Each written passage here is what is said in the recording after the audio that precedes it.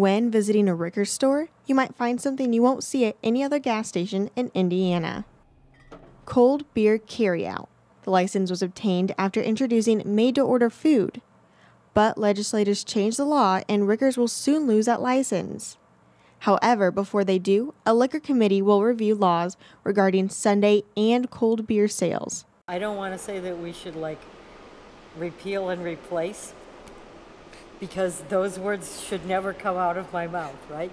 But there are a lot of things that need to be fixed in that title. While Senator Karen Tallian is not opposed to change, the alcohol laws have been looked at by public policy committees in the past. Six of the eight lawmakers on the Liquor Committee are not new to this topic, including Senator Ron Alting. The pros is that you bring a tremendous amount of knowledge, uh, even though some might be differences of opinion.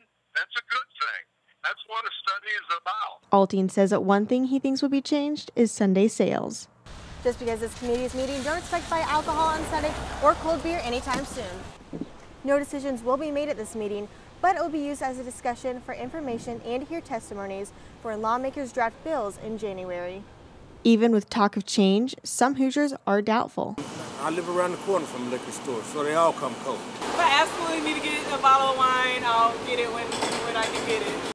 Ashton Otte, 24 Hour News 8.